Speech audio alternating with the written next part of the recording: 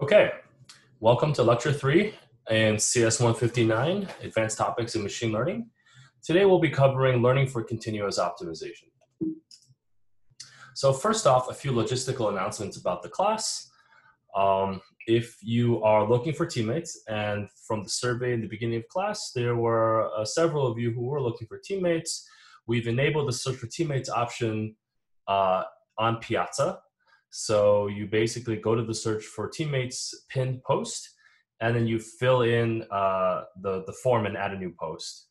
And uh, there's some instructions to make it easier for us to help um, to help uh, facilitate the search for, for, for teammates. So just please read the instructions and fill out the about me uh, field appropriately. Um, sorry, and please do so by um, end of today. So end of Tuesday, April, uh, is it the 14th? Uh, we'll, we'll be taking a look at this tomorrow. Um, blog post guidelines. So uh, we've made a site for, for, for blog posts. We've also put a template post as a demonstration of what a blog of what a, a good blog post uh, should look like. That's uh, you know shown in the screenshot on the right. The guidelines are also uh, have been updated on the course website. And the key idea is to explore a topic in sufficient depth to to write a 10 to 15 minute blog post. So the, the template you see on the right is a 13 minute read. Um, and we recommend that you uh, basically take a topic derived from a starter paper. There are 10 start there are 10 starter papers uh, listed on the on the uh, course website under blog post guidelines. And so these are what, what the TAs and I consider to be the most basic papers in this class, the 10 most basic papers for this class. And to understand it, uh, you could even use an implementation. There's implementation linked to off the course website for code and data, or some of them are easy enough that you could implement them yourselves, at least a toy example.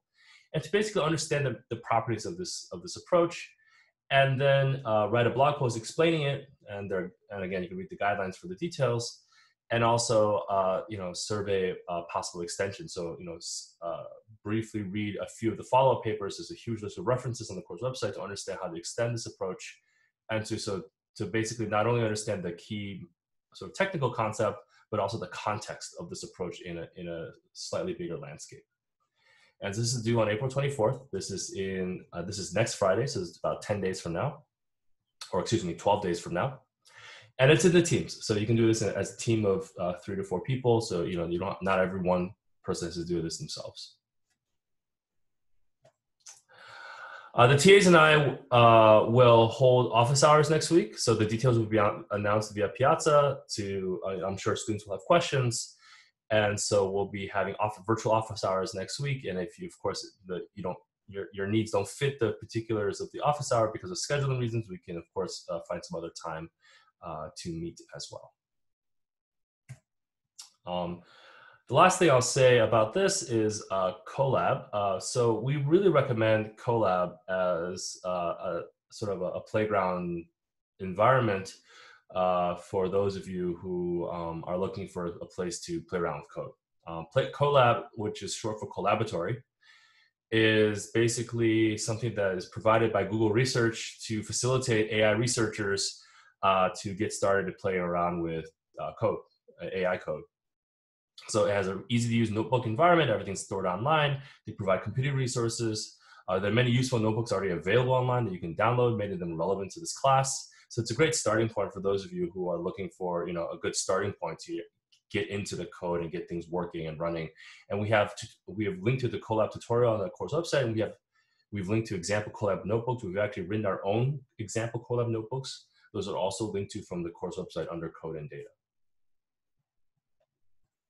Any questions about the logistics of the class right now? Please raise your hand.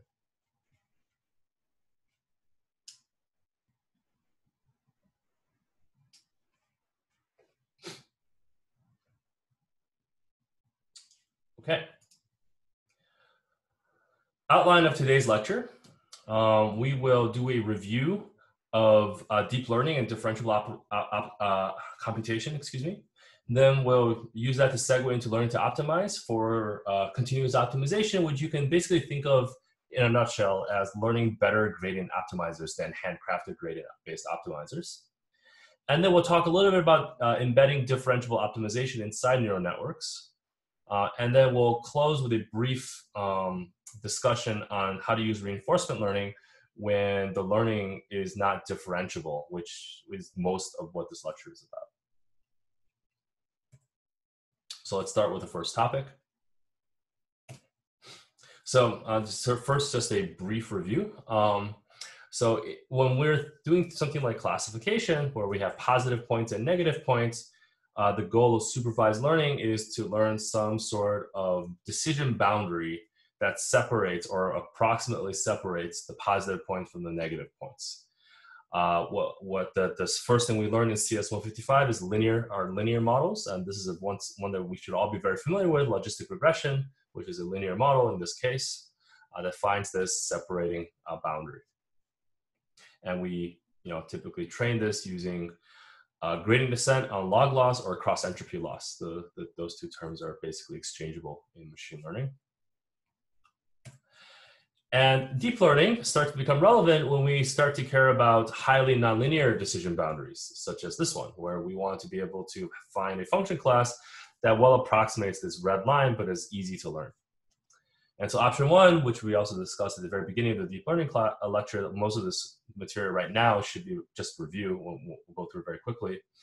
Option one is to just expand the feature representation of, of, the, of the raw features into this expanded form. Um, but we're going to use option two, which is um, use multiple linear decision boundaries to compose a uh, to compose a nonlinear boundary. So we have these two red hyper, red hyperplanes that are linear, and we're going to compose them in a way to form this particular boundary. And that's essentially what deep learning is in a nutshell. And so one, another way to think about it is by thinking about Boolean operations. So, you know, if we want to implement XOR, um, you know, both and and or, uh, if we think of x1 and x2 in, in this case as binary features, either one or zero, both and and or are linearly separable. There exists a linear hyperplane in this Boolean feature space that can separate and and or.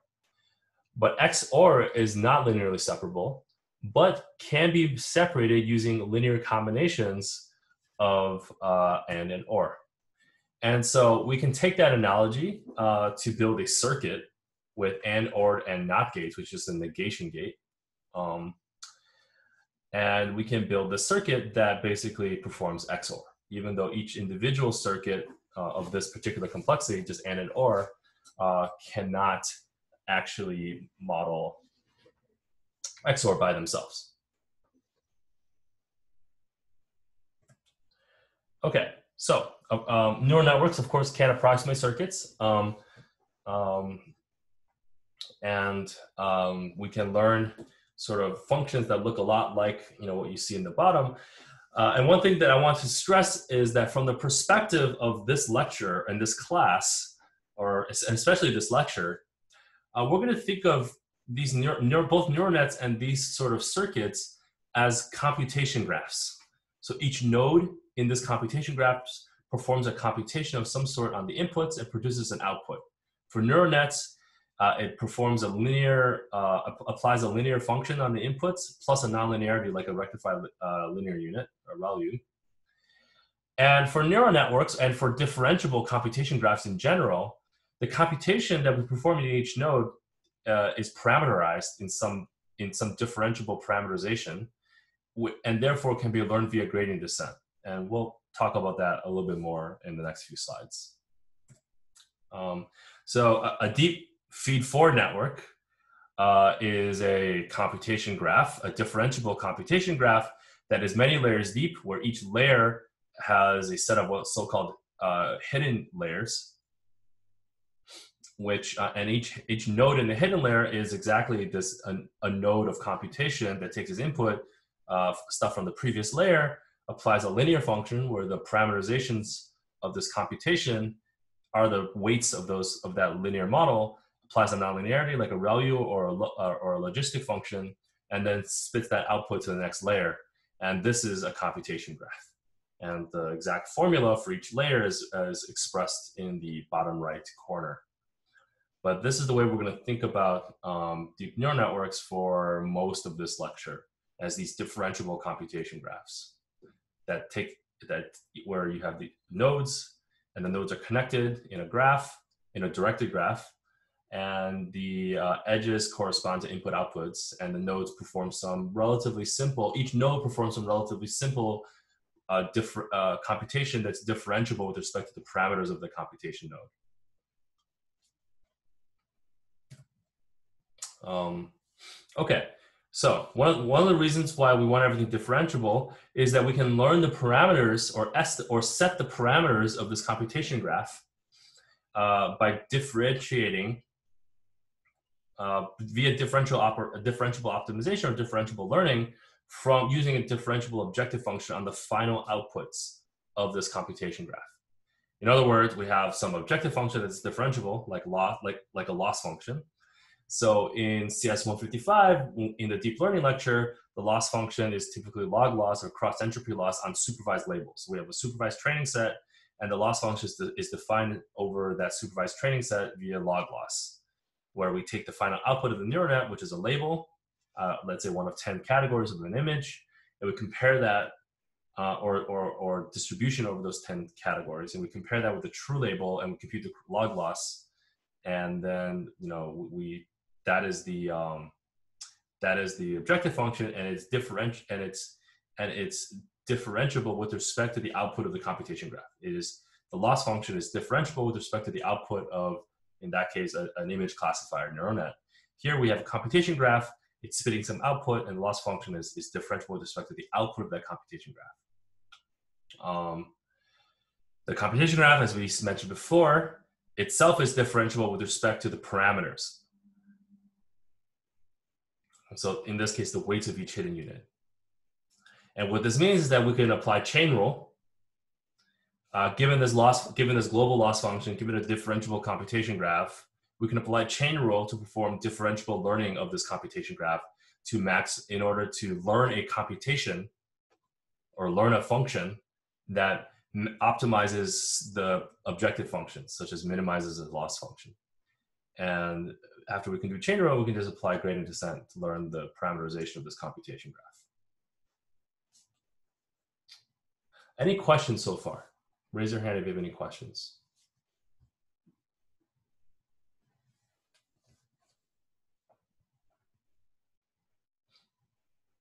Okay. So let's think about feed-forward neural networks as computation graphs. So, you know, what can what kind of computation can we learn or can we model in a feed-forward network? Well, in some sense, it's like a one-pass computation. A, a feed-forward neural net, at least in this simplest setting, doesn't maintain any state or memory. You, you give it inputs, it spits out outputs. It's like this. There's, there's no there's no recurrencies, there's no for loops. It's just it's it's like it's as if you were just writing code, you know, like line by line. Um, you know, it, you could unroll, you could basically write out this neural net line by line if you were writing code. And it's just, there's no, there's nothing super, super clever about it. It's just lines and lines of code, no recursion, no special function calls, no for loops.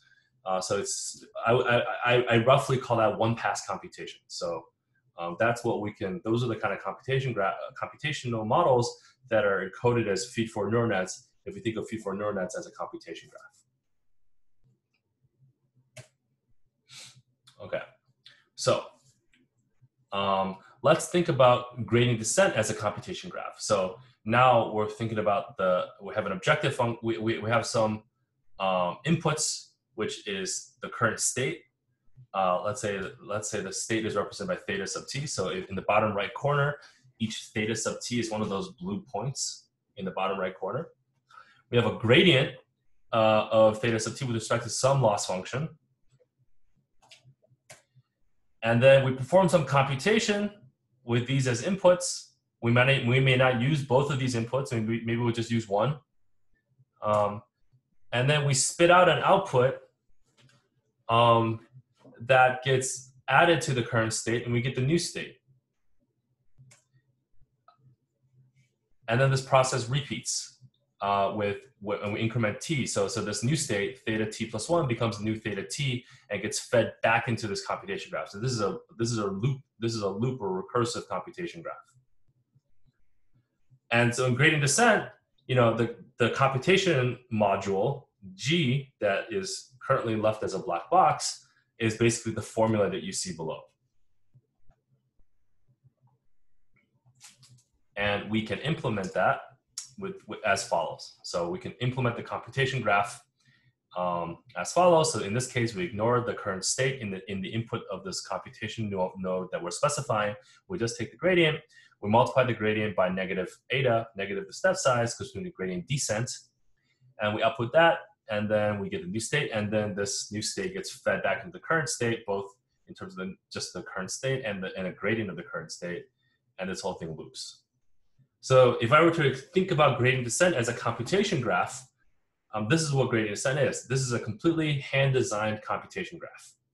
Every, every piece of this, uh, with the possible exception of the step size, um, which you could tune, uh, is sort of handcrafted in, in a very sort of, in a very explicit sort of way.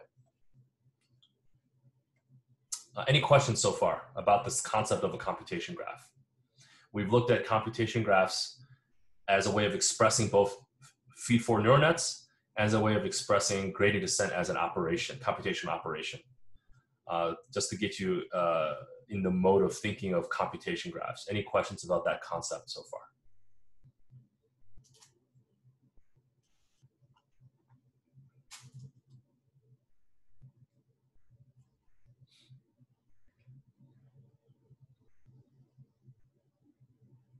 Okay. So what about gradient descent with momentum? Let's just play, let's just keep thinking about these different operations or computations in the concept, in the context of a computation graph.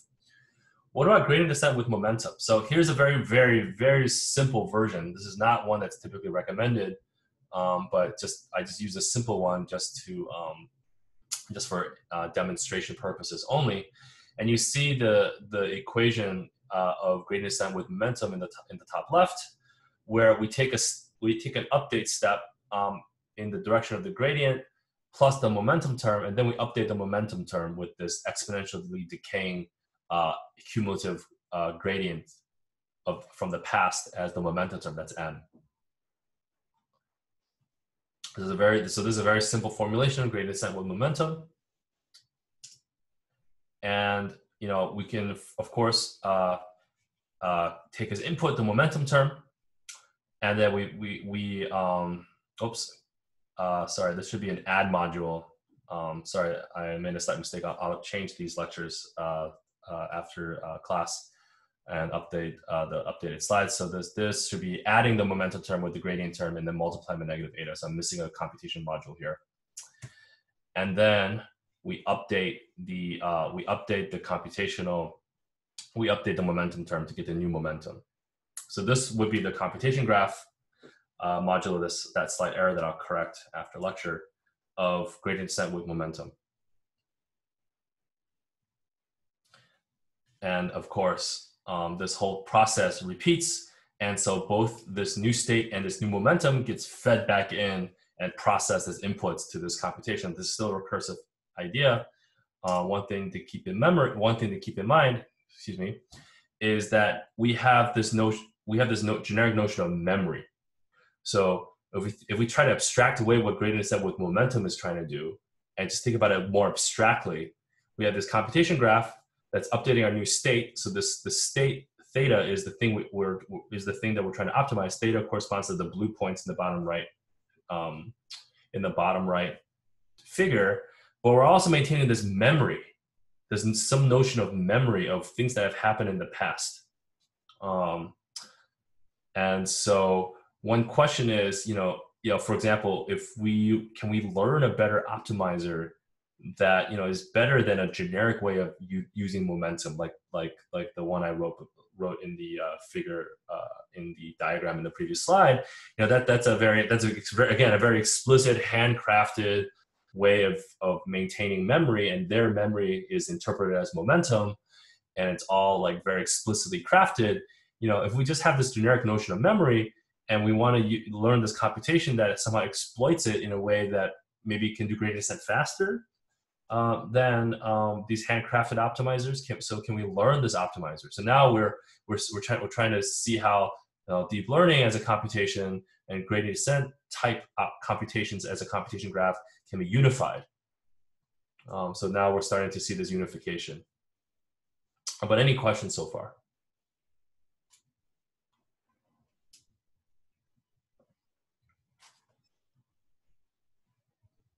Okay, so this is learning to optimize in a nutshell, in its simplest form. And to do so with this uh, memory, if you with this memory uh, uh, uh, uh concept, we have to appeal to recurrent neural networks. So uh, if you recall from again from CS 155, this is just this should be review for everyone. Um, recurrent neural networks are these neural nets that take a sequence of input and produce a sequence of outputs and maintains this hidden layer that get that whose whose values are whose values of the hidden layer these orange nodes are, are a function of not only the current input but the but the output of the previous hidden layer and the the parameters of the this recurrent neural net are encoded in the arrows and all the arrows with the same color share the exact same weights. So the computation graph, if you will, of every uh, you know column of this neural net is exactly the same computation graph, just with different inputs. So this is a recurrent neural network. We can also write it in the following form, which looks more like a computation graph that we've seen in the previous slides where in this particular case, H, uh, this is using the notation from CS155. It's a slightly different than the notation we're using now. Um, uh, H is in this case the hidden node, and it, it, it depends as input the, out, it, the previous output of the hidden state. So this would be the memory term, the M, um, that we've been looking at in the computation graphs from the previous slides. Uh, we could also we could also think about a, a recurrent neural net as, as a feed forward neural net uh, as long as we have a fixed or upper bound on the uh, number of iterations, we can think of them in this way. So the depth of, the, of this feed-forward neuron is equal to the number of steps, which has implications for learning because gradient descent and chain rule get harder and harder as the depth uh, gets uh, larger and larger. Um, okay. So, you know, the, the gradient descent uh, or back propagation algorithm is called back propagation through time. So uh, every output node, uh, which is the turquoise node, you know, it gets attached to some sort of loss function, and through that loss function, we get a gradient on what the uh, what the um, parameters should be, and then through chain rule, that gradient propagates um, backwards through the arrows. And this is especially relevant for the hidden for the for the green arrows, which are uh, which are the, which is the computation of how the hidden units of the or the recurrent units are updated over time. In, in this case, it'll be in our case, it'll be the memory units.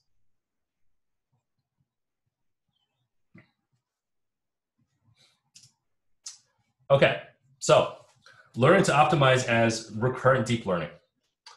Um, so let's go back to this graph where, um, again, um, the new states and the updated memory gets fed back into uh, the, the, the stuff that gets inputted back into this computation, which outputs an updated memory and this uh, new state again, and this happens in a, in a loop.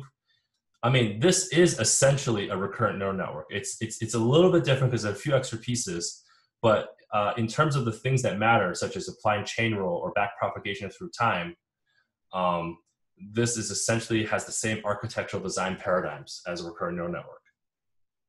Um, the biggest difference is that the imp is that uh, the, the, biggest difference between this and a, and a just a vanilla recurrent neural network is that you have this plus operation that's very explicit in the top uh, in the top right. So we, we, we, the output of the computation graph it gets added to the current state to make the new state. And one of the inputs to this computation graph is the gradient of some objective function we're trying to optimize. So those are the two things that are explicit about this particular ne- uh, recurrent neural network that that that we're sort of we're fixing the architecture of, and everything else is just looks like a free form, generic recurrent neural network, where the memory cell is a recur- is the output of a recurrent hidden unit.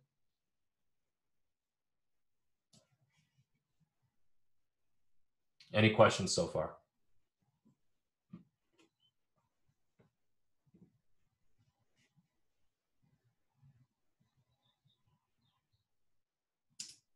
Okay, so let's talk about differentiable learning. So we have some objective function that we want to optimize. So this objective function uh, is a function of theta. Theta is the current state uh, of the optimization landscape. And we assume that the loss function is differentiable with respect to theta, which means we have access to both the zeroth order and first order measurements of theta for, uh, of, of loss function at any theta. Um, this is in contrast, by the way, to Bayesian optimization, that we talked about in the previous lecture, where we only had zeroth order measurements of the loss function. Here we're assuming we have both zeroth order and first order measurements of the loss function. Um, we have a, this differentiable computation graph. I'll call it G. And G is parameterized by uh, a set of differentiable parameters. I'll call that phi and it outputs both this delta offset of the state and this updated uh, recurrent output. And then the part that's hard coded in this computation graph is the second bullet point where, where the new state is the, is equal to the current state plus the plus the output plus this offset or update to the state. So that part is hard coded in this computation graph. The, the rest is, is just this generic differentiable computation graph. And so we assume that the outputs of G are differentiable with respect to the parameters of G. And we assume that the inputs of G are differentiable with respect to the parameters of G. Or maybe I wrote, maybe I wrote this backwards. The parameters of G are differentiable with respect to the outputs and inputs. I may have written this sentence backwards, um, these sentences backwards. The, the, the, the, the key property, the key, the key uh, consequence is that we can do chain rule recursively, back propagation through time, to be able to estimate uh, to be able to estimate uh, phi in a differentiable learning way. So therefore, uh, by chain rule, if we can compute the gradient with respect to the parameters phi of this computation graph.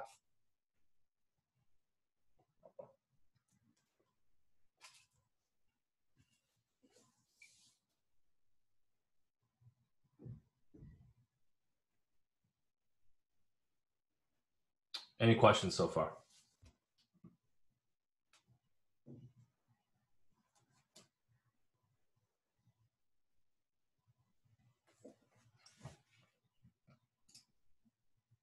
Right, so this M term is the recurrent aspect that requires us to do back propagation through time.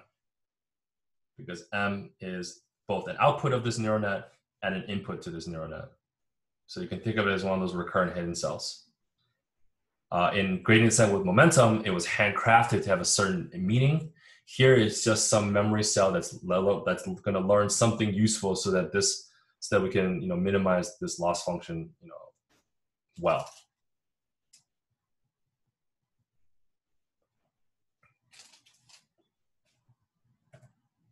Okay, so typically you fix the time horizon, capital T, so the number of update iterations.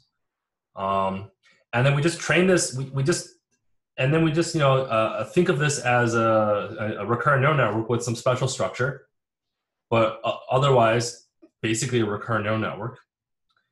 And um, the loss function incurred by the predict the neural network predicts a theta sub t or predicts a this, this, the neural network predicts a if you a delta sub t but if you think of this add operation at the top of this as just a, a hard coded part of this recurrent neural network then the loss it, experiences loss theta sub t at every iteration. So it, whatever the loss function is at that step of you know this optimizer is the loss it incurs and we want to minimize the loss the sum of the loss over all capital t time steps. That's that's the learning objective to minimize the sum of the loss over all capital t time steps because because uh, at every time step it's outputting the theta sub t, and we're we're we're we're passing that through a loss function. And that's and that's how we do differentiable training. It's just like a recurrent neural network. At test time, you know, of course, we have this G and it's fixed, and we just apply, we just use G iteratively. We just have it make predictions. You start with an initial theta, and you pass in the gradient, you pass in, you know, uh, some initial memory terms, typically a random initialization, you or, or or some standard basic initialization. You you know you predict a new theta, you compute the gradient, you pass that back into the computation graph in the recurrent neural network. The memory gets updated in a recurrent way and then you know it's basically just rolling out the prediction of a, of a classic recurrent neural network. Um, in the most classic formulation of a recurrent network, this M, this memory output M is just embedded inside uh, the computation. So that should not be M, M is not hidden inside theta. M is hidden inside G. That's sorry, that's another typo. I'll fix that. Um, recall that in lecture one, the notation it, we, that we used was, you know, we have this theta sub g, which is what we call an optimize an optimizer. The optimizer is g, and we have given it an initial state. We give it the max number of iterations, and the output after that, that, that max number of iterations is this notation that we use.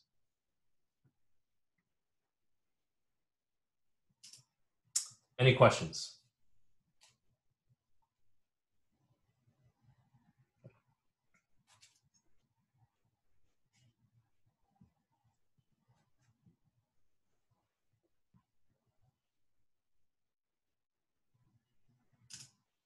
Okay, so now we're going to uh, take that um, idea of deep learning and things that look like gradient descent, both in the paradigm of differentiable computation and computation graphs, and, and we've seen how they can be unified. Uh, it, um, now we're going to look at specific examples of learning to optimize.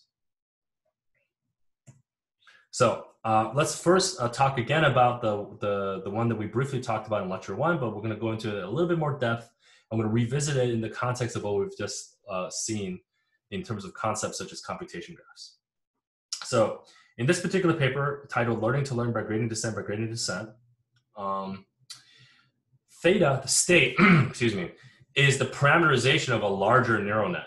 So, so in this particular paper, they have an optimizer and an optimizee. And the optimizee is a large neural net, and the optimizer is you know, SGD. It could be one of the, any one of the handcrafted gradient gradient descent gradient based optimizers, or it could be a, a learned gradient based optimizer. And the loss function that we're trying to minimize overall is the supervised learning loss of this larger neural net.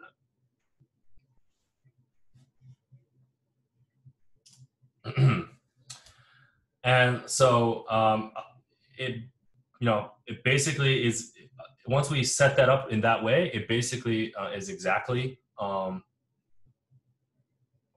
the um, the formulation that we described above.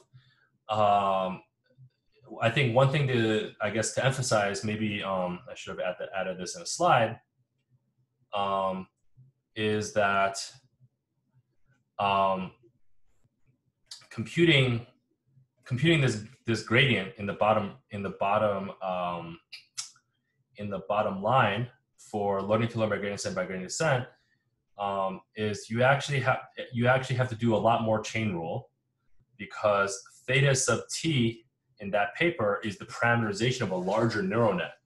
So to compute the loss of this larger neural net and to compute the gradient of this larger neural net, we have to do a whole bunch of chain rule um, before we can feed it into our learned computation graph.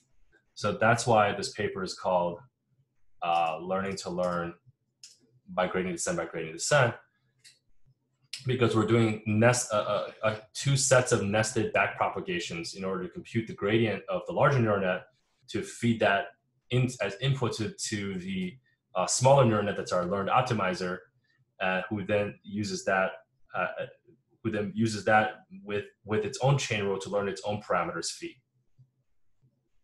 But once you do that, um, you know, this is again a plot that we showed before. Um, LSTM is their approach. They, they use an LSTM, which is a, a version of a recurrent neural network. Um, on uh, this, these are simple, relatively simple data sets. Uh, lower is better. This is the loss function of the larger neural net that's being trained with this smaller neural net as a learned optimizer. And this is compared with uh, various different uh, gradient-based optimizers that are handcrafted. One thing that's interesting is that, you know, again, you have to set your time horizon to some fixed time horizon during training. So they picked 100. And what you see on the right figure is, well, if you just, at test time, if you just kept predicting for the next 200 time steps, what happens? And so in some sense, you know this this this learned optimizer can generalize in some sense beyond its training domain so even though it was only trained at this to run for 100 time steps it can actually do uh, generalize to 200 time steps even though it's never seen gradients inputs or states that look like um, you know that look exactly like uh, what it's seeing in the in, in the next uh, 100 time steps Another thing to keep in mind here is that as, at least as a function of number of iterations, uh, this learned converge, optimizer converges much faster than a handcrafted optimizer. One thing to keep in mind though is that um, you know each iteration may be more expensive because each iteration now we have to actually apply a neural net uh, rather than just you know Adam, which is doesn't require applying a neural net to get the update rule. So each iteration is more expensive but at least in, in terms of number of iterations, this converges much faster. So for example, if you look at the middle plot on MNIST, you know, the, this, this neural net has basically converged, you know, if you, if you want to train something really fast, this neural net is basically converged after about 70 iterations. Between 60 iterations, if you want to get something quick, quick learn, quick, quickly learn, it's basically converged after like 70 iterations.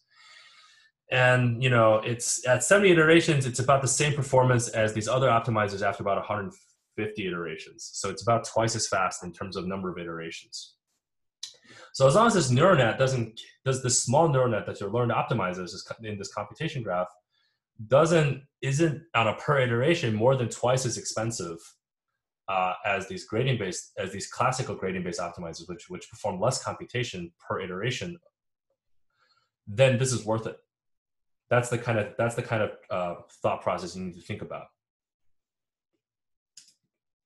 Um, and here's the here's some uh, plots from um, other um, more complicated uh, another more complicated data set called CIFAR10 and subsets of CIFAR10. Uh, CIFAR10 is an image classification data set with 10 objects. So there's 10 categories, and you take an image, you predict one of the 10 categories. So that's the larger neural net. Um, and the large neural net has a lot of parameters. And um, and one thing that this bottom plot is testing is whether or not um, this learn optimizer can be used on a different learning problem. So one of the use cases of this type of approach, this was asked in the first lecture, one of the use cases of this type of approach is that this learned optimizer can then be deployed, can be shipped at, as part of, let's say, let's say for Google, can be shipped as part of TensorFlow and if we're Facebook as part of PyTorch as one of the optimizer flags. If you if you if you look at TensorFlow and PyTorch, there are different optimizer flags like SGD, RMS prop, Adam. You just pick one you want to use. Um, you can actually pick one that's your learned optimizer. And so if you're let's say a small business or uh, a grad student and you want to train something in your domain very quickly, and you think that your domain is well represented by the domain that this learned optimizer was trained on, then this learned optimizer should be able to generalize to your uh, to your domain and train faster than a, than a conventional uh, optimizer such as Adam. And that's what you see in the bottom plots, where the brown line are neural nets, are learned optimizers that are trained on a slightly different uh, training problem. So CIFAR2, for example, is basically um, CIFAR 10, but only looking at two out of the 10 classes. So this becomes a binary classification problem. So if you can train the brown line, which is this learned optimizer, on a different CIFAR2 data set.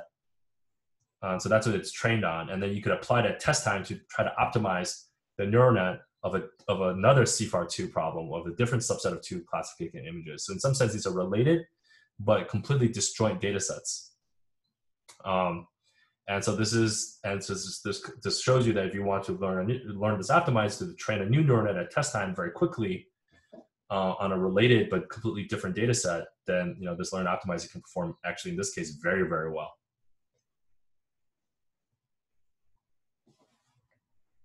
Any questions so far?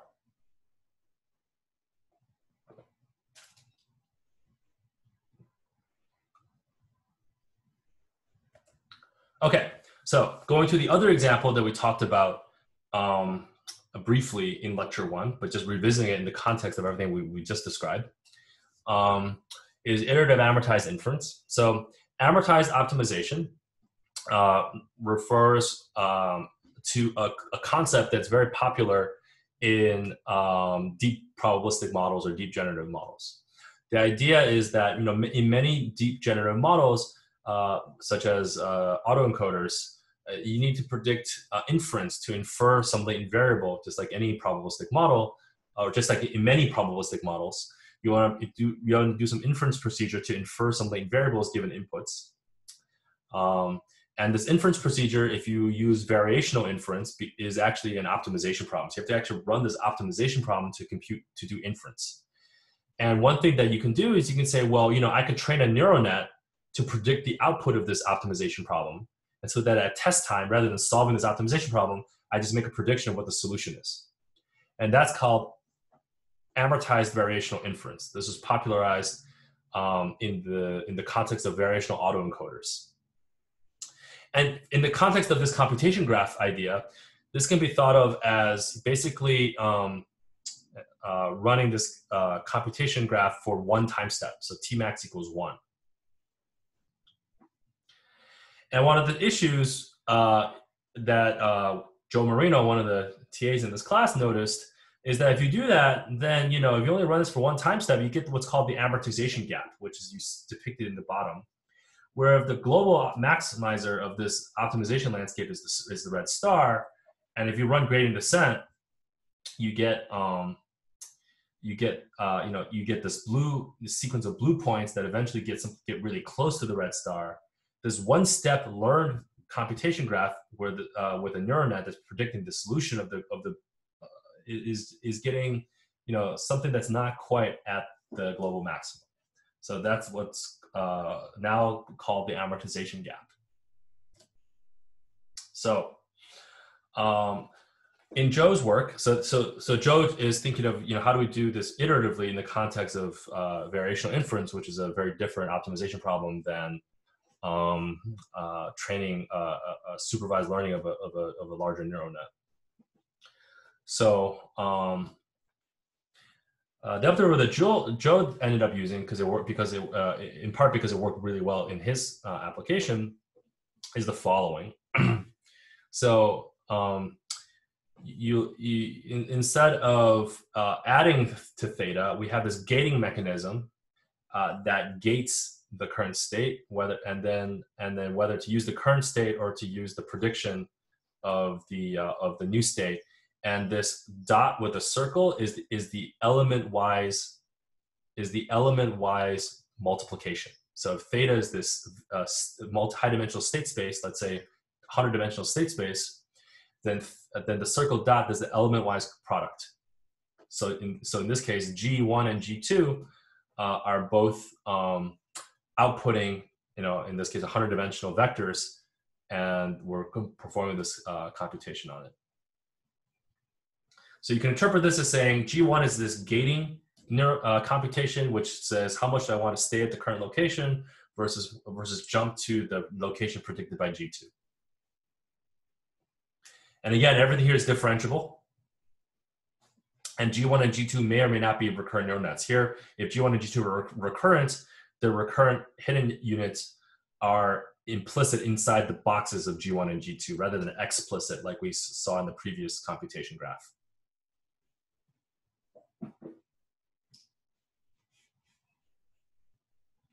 Any questions?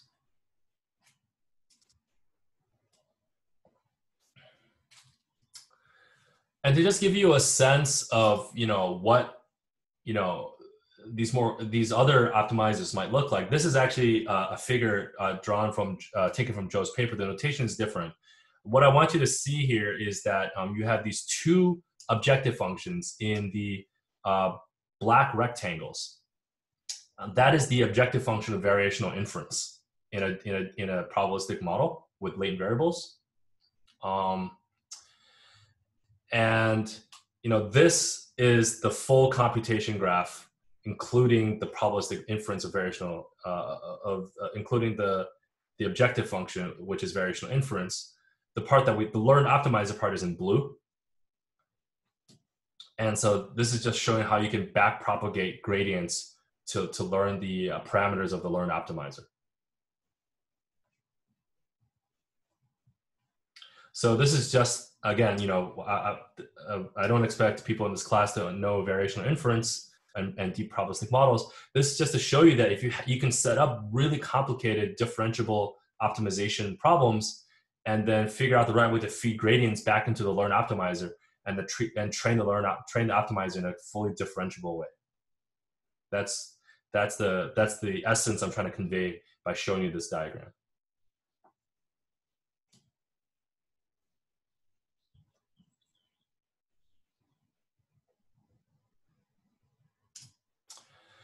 And so some empirical results. So um, um, because in this field um, of variational inference, this learned optimizer that, that gets applied for one step is called amortized variational inference.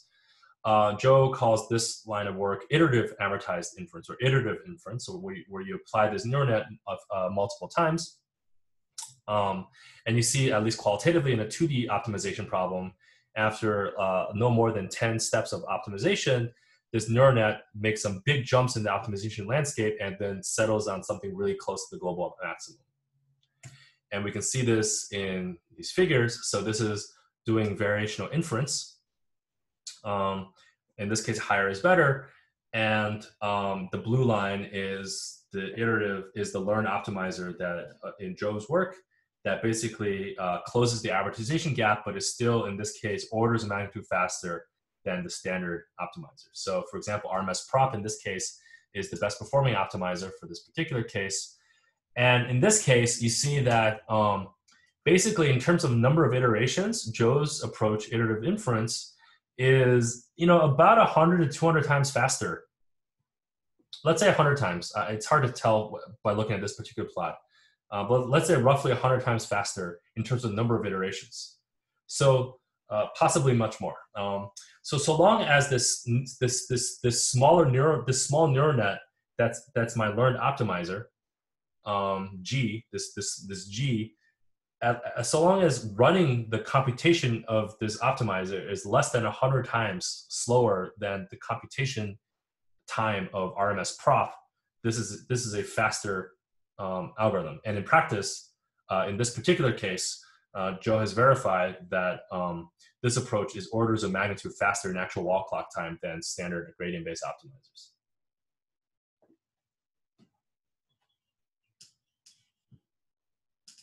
Any questions?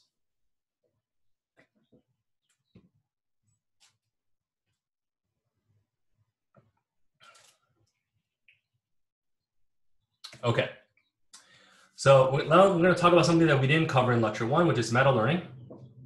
Uh, meta learning is work by uh, Chelsea Finn, Peter Abbeel, and Sergey Levine uh, from uh, 2017. Um, the basic idea is suppose we want to do uh, um, sort of domain adaptation at test time. So what does that mean? That means that we at training time we have this distribution of supervised learning problems. So we can think of these as different tasks. Each one uh, corresponds to a different um, to a different loss function and each one is associated with a very small training set, uh, although it can be big, but let's say small training set. Um, and then we assume that these learning problems or these tasks are related to each other. So in the simplest form of meta learning, and it can get more, much more complicated, but we're just going to talk about the simplest form. In the simplest form of meta learning, uh, the goal is to learn this. The goal is to learn this two-step optimizer, where step one is an initial guess, theta naught, and step two is we're gonna we can quickly fine tune theta naught to an individual task. And that's depicted in the um, in the diagram in the bottom right, which is taken from the meta learning paper.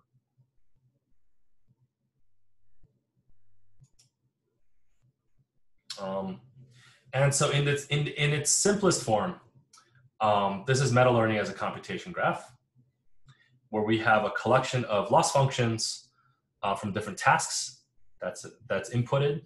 And then for, for each of them, we want to be able to minimize its loss. And, and we want, in this case, we're just gonna take one gradient step. So this is just one, this is basically saying we want to, we want to estimate a theta naught such that in one gradient step, we can uh, get to a theta star for that task.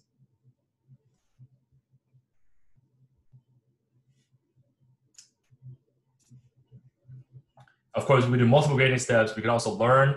We can also learn the optimizer in this black box rather than fixing it. So here we're, we're, we're, we're fixing the optimizer as standard gradient descent. We can also learn the optimizer as a black box. Uh, we can also run it for more than one time step. Um, but we also need to we also need to learn a theta naught over this collection of tasks.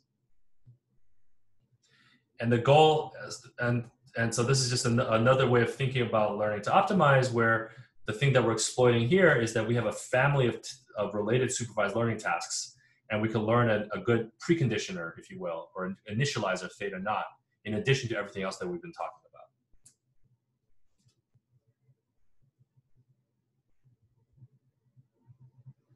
And so long as at test time, for our new task or our new, a new supervised learning problem that we're trying to optimize is related to all the training tasks, then this theta naught plus this optimizer, which could be learned, uh, will very, very quickly um, you know, learn, um, learn to do well for this new task. And one of the side benefits is that it may, it may do so in a way that uh, where, this, where the learning task or the, at test time um, has very little training data as well. That's another side benefit that we haven't, that is not really the focus of this lecture. So the benefits of meta learning is that it can quickly adapt to the new task at deployment time with possibly very little training data, uh, learn to share information across training tasks, for fast adaptation, both in terms of training time and in terms of generalization power and sharing statistical strength. Um, and this is one figure from their paper um, where pre-trained corresponds to a neural net that was just pre-trained on all the training data and not fine-tuned. And Oracle is the ground truth loss if you had all the training data. And so you can see that, you know, um,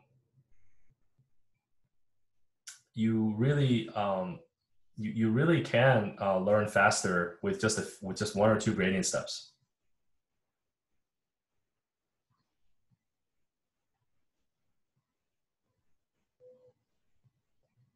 Sorry, pre-trained. Sorry, pre-trained. I, I misspoke. Pre-trained corresponds to a pre-trained uh, to a pre-trained neural net that get, that gets that then gets fine-tuned in a normal way, whereas in in in meta learning, um, you're learning an optimizer for the for the purposes of fast adaptation and fast fine tuning. So this is in, sense, in a sense, this is basically learning to fine tune to a new domain. Is another way of thinking about it. But we can actually think about if I just go back to the previous slide, um, we can actually think about replacing um, replacing. Sorry, sorry, this portion with a learn optimizer as well. So we can combine the, the, the, the core concept of meta learning with the core concept of a, of a, of a learned gradient based optimizer. Uh, we, we can combine these two, and this, that is, of course, an interesting um, topic for a research project if, if that's something you're interested in.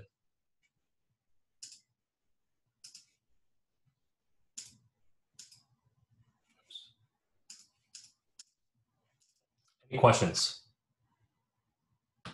Yes, question, Aiden. How much work has been done in uh, trying to understand how information can be shared among different tasks? Uh, that's a great question. Um, truthfully, I don't know. Um, you know, this is not an area that meta learning is not an area that I've spent a lot of time working on myself.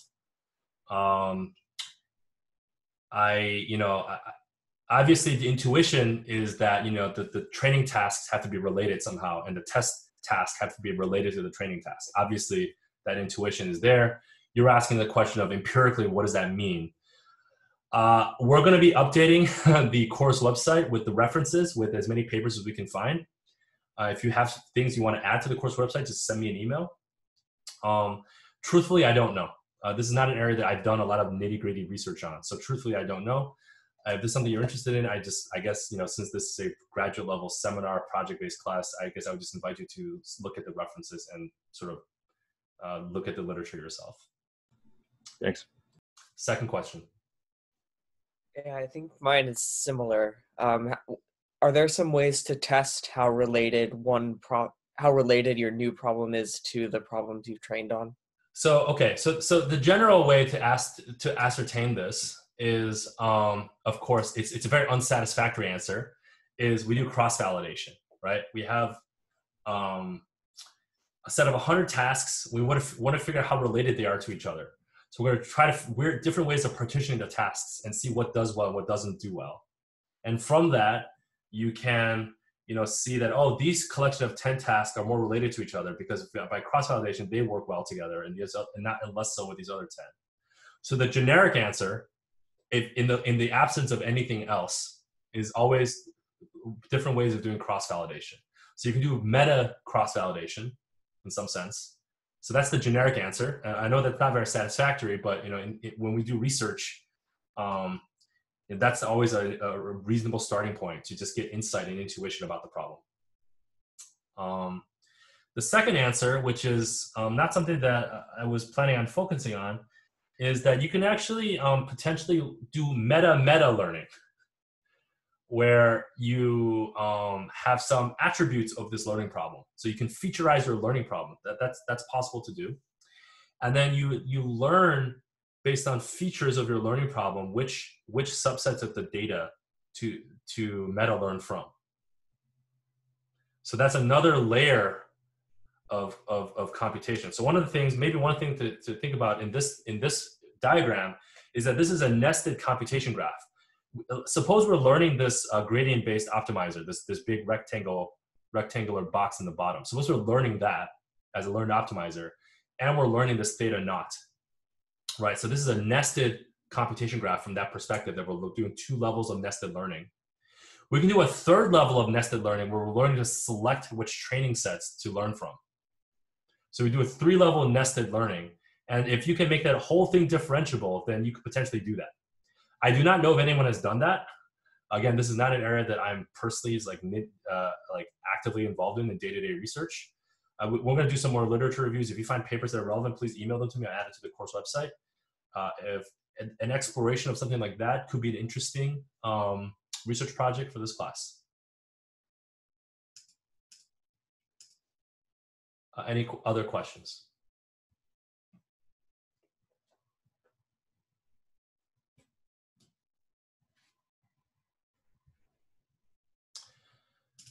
Okay, so moving on. Um, the next two bullet points will be a little bit shorter. Um, uh, embedding differentiable optimization inside neural networks. Um, so the story so far right now is that we have this optimization problem, L, uh, and we we have we want to train an iterative optimizer, like a gradient-based optimizer, um, to optimize L. And we assume everything is differentiable, and we also assume that L is completely well defined. So, for example, when L is the is defined by the lot the, by the supervised learning loss of a larger neural net, then in some sense it's completely well defined, and we just need to figure out how to optimize its landscape. But this isn't always the case. So uh, to to sort of arrive at this perspective, let's think about um, a, an alternative perspective. And so to do so, we're going to look at OptNet, which is work by um, Brandon Amos and Zico Kolter at Carnegie Mellon, uh, first appeared at ICML, um, I believe it was ICML 2017. Um, so um, the first thing we're going to do is we're going to look at a quadratic program.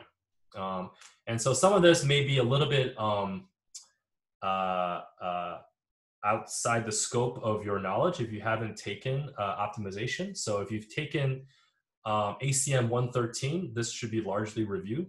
If you haven't taken ACM 113, I'm going to sort of give just give you enough intuition of what's happening, and so you understand the general idea. uh, and and and yeah, and then we'll go from there. So a quadratic program says uh, I want I, I want to find the theta that minimizes the uh, uh, this uh, quadratic loss function subject to linear constraints. So this is an optimization problem. If the if the parameters of this optimization problem, capital Q, little q, capital A, little b, capital G, little c, are completely uh, specified, this is a relatively easy problem to solve because this is a convex, this is a convex optimization problem. It's, it's relatively easy to solve. So now the question is, can we learn what these parameters are? Capital Q, little q, capital A, little b, capital G, uh, little c, not capital C, excuse me. Um, can we learn the parameters uh, of this optimization problem such that the solution of this optimization problem gives me what I want?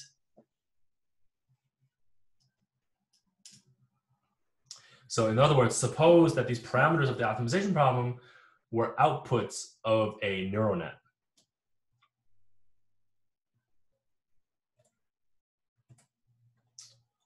So in other words, we're going to have a neural net where we where the where we have an optimization layer inside the neural net. So the actual optimization problem. So you going to use an existing solver to solve this optimization problem, which is in this case the optimization problem is easy once you've specified the parameters of the of the optimization.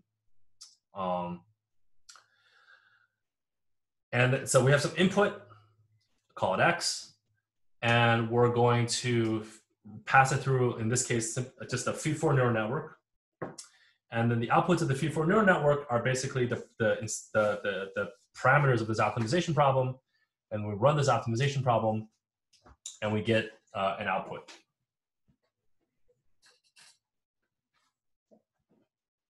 So that's the basic idea.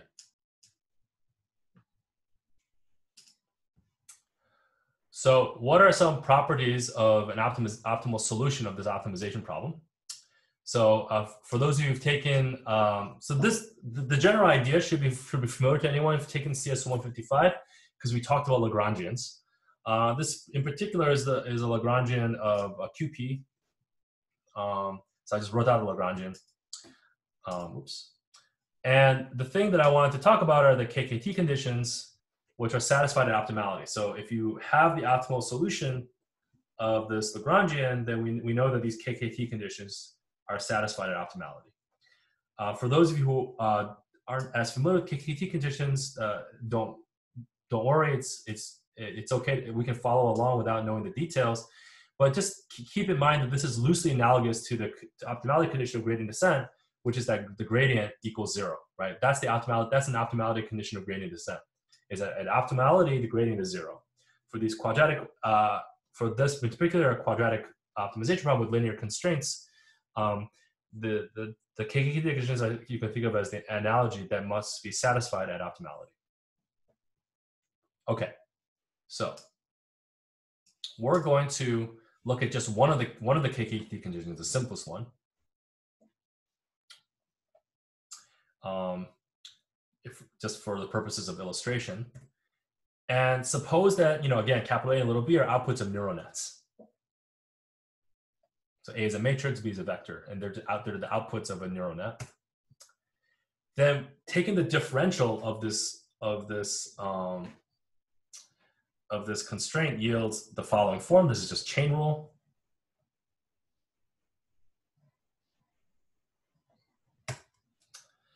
And without going into all the details, this implies that we can do the following. We can differentiate through the KKT conditions. Um, in other words, we can characterize how the solution of the QP changes uh, differential in a differentiable way as a as, as a, in its relationship to the to the parameterizations of, the, of its outputs, which means that we can apply chain rule. Once we do that, we can apply chain rule uh, through this the solution of this optimization problem. So we have let's say we've solved this optimization problem for for for a fixed Q Q A B G C for we, we've solved this solution of the optimization problem. Now we we ask the question for once we solve the solution of this optimization problem, suppose we want to change the parameters of of Q Q A B G C so that the its parameters change a little bit. Then by differentiating through the KKT conditions, we can we can talk about how everything changes, and then we can apply the chain rule onto the feed forward neural network part. So again, I'm not going to go into the details, but that's the basic idea. And so if you have an optimization problem where you have some conditions at optimality, you know, one question is, you know, can we just like treat that as a layer of a neural net? In this case, it's it's not a feed, it's not a, a simple layer. It's um, you know, it, it's an optimization layer.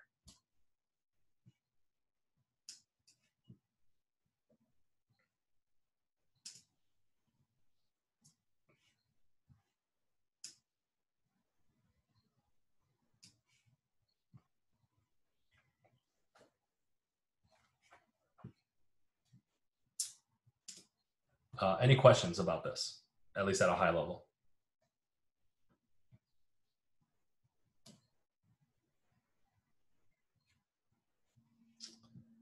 Okay, so here's an example, Sudoku. Um, so the train, the so the input is a partially filled in Sudoku puzzle. That's the X, and I'll just call theta the fully filled in one, just just to keep the notation consistent in the lecture, although they call it Y in their paper. Um, uh, so the, the, the output is this fully uh, filled in um, Sudoku. And you could pick some standard supervised training loss. They pick squared loss. So they have a supervised training set uh, where they where you know you want to predict theta that minimizes squared loss with the ground with the true theta, which is the, which is the solution to the Sudoku. And so we're going to, so the prediction of theta is basically the prediction of this optimization problem subject to constraints. And, you know, they showed in their paper um, that, um, oops, this I think is not the figure I wanted to show. there was, oh no, this is the figure I wanted to show. So that they can learn, uh, you know, about as well as a convolutional neural net at test time, and they don't overfit, which is interesting. Um, it, you know, a convolutional neural net basically treats X as an image, and then and then and then it, it does the sequence of convolutions over this. One of the things that a convolutional neural net may, may have a hard time learning is you know that constraints need to be satisfied. For example, you know every row and every column has to have exactly one of each number. That's a constraint that needs to be satisfied. If you don't know, if you don't know, if you actually don't know that that's a constraint that needs to be satisfied, then how do you learn that? Can you learn that implicitly inside the neural net? And that's one of the arguments for OptNet. They've since extended OptNet in uh, many different ways. So there are follow-up papers. Uh, you can see that on the course website where they can significantly outperform convolutional neural nets. But this particular figure demonstrates that they don't uh, that they can act that they're potentially uh, this optim this OptNet architecture is actually learning the constraints of what what are valid solutions uh, of Sudoku, and that's why you don't see this overfitting that you see in convolutional neural nets, which would be the first thing you try, but because you, you know, with a standard neural net architecture, because you treat this as an image. So in other words, if you think that there are rules or constraints that govern what the solution should look like, then then you know um, uh, you can learn that in the A, B, G, and C, right? A, B, and G and C are constraints. You you don't allow the solutions to violate these constraints. So so um, for example, learning that each row and each column should have exactly one of each number could be encoded in, in AX of theta equals B of X implicitly. It could be encoded implicitly. Of course, you need to visualize what the neural net is learning, but this is this is a structure that makes it easier to learn those type of constraints. Whereas convolutional neural nets is a structure that makes it easy to learn things that o- uh, obey or or enjoy translation invariance.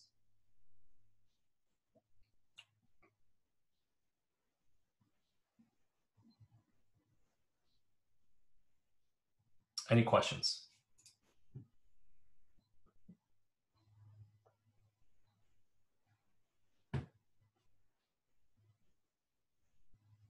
Okay, so the final topic is just a very brief um, discussion of reinforcement learning when learning is not differentiable.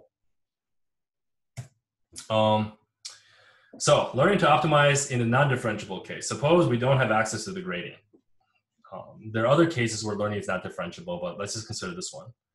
Suppose we don't have access to the gradient. So, you know, we only, um, we, we can only measure the point-wise loss. So we can only measure what the loss is. We don't know what the gradient of the loss is.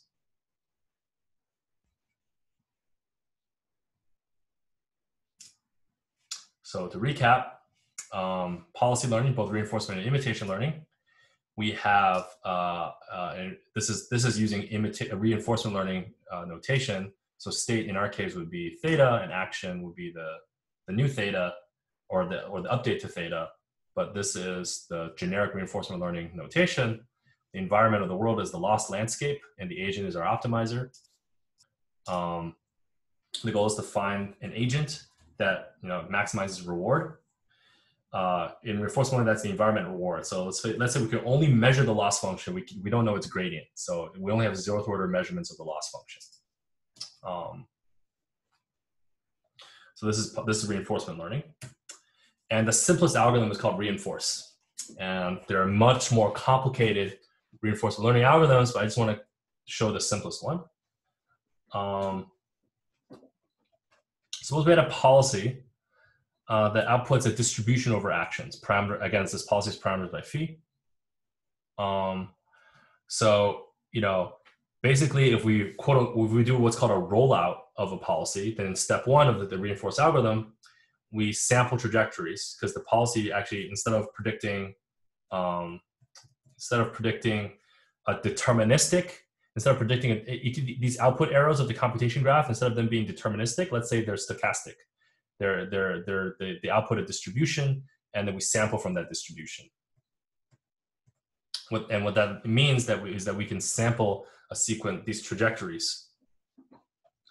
And we can measure the, the point-wise loss of these trajectories. So we can measure, we can measure the loss at each um, theta sub t, um, but we cannot um, measure the gradient of the loss with respect to theta. then we by by by in, endowing h with a distribution, we can you know use that distribution to smooth out the loss. That's step two. So the gradient of the loss with respect to phi is the smooth version of this loss where we only have pointwise measurements of the loss function. If you don't know reinforcement learning, it's okay. Um, this is just um, this is just to, to get you to, understand that what we're doing here is sampling and smoothing.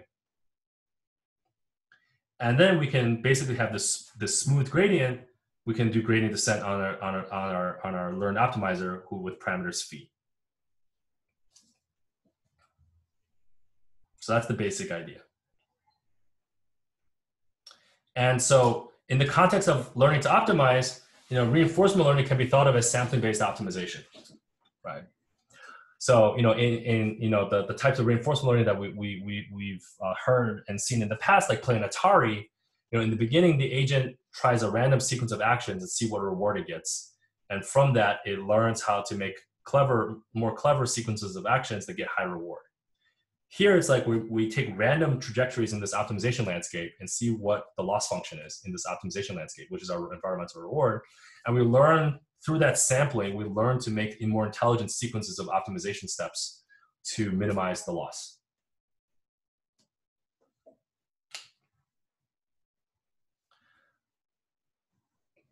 So of course, we want to make this as differentiable as possible. That's what the last bullet point is but you know the, the assumption is that you know there's some aspect of this problem that's not differentiable. If you cannot differentiate through it through it then you can only sample it and then do a smooth estimate and do a gradient of this smooth smooth estimate.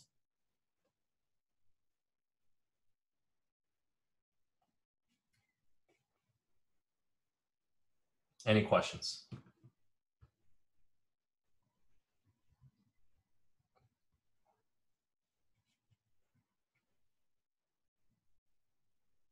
Okay, so uh, just to briefly, uh, one slide, talk about uh, this paper, Neural Optimizer Search with Reinforcement Learning. This appeared at ICML 2017 from Google Brain. Um, this is, uh, in a nutshell, what they did. Of course, uh, there were it, their actual setup is more complicated.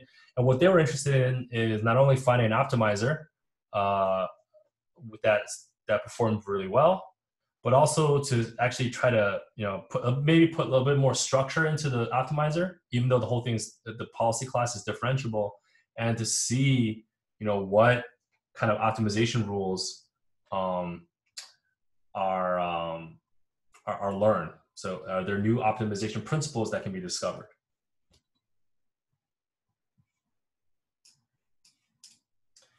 And so they uh, had two different classes of optimizers. And um, this is just showing that these optimizers outperformed um, standard gradient-based optimizers in the, in the right plot. I guess I should mention uh, right here that you know as you move towards reinforcement learning, uh, learning these optimizers start getting more and more expensive because sampling is extremely expensive. If you if you don't have a fully differentiable problem, or you're not Bayesian and using using a Gaussian process like in the previous lecture, and, you, and you're trying to train a neural net with sampling, it is extremely expensive. So so if you are thinking of doing um, if you're thinking of doing um, a research project on you know reinforcement learning just you know of course uh, if you're really interested in that area you should absolutely go for it but just keep in mind that you know it's going to be a little bit of a heavier computational burden to do such a project any questions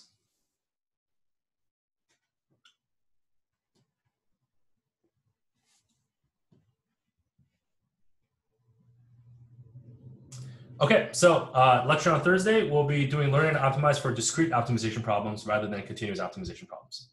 That's it for today.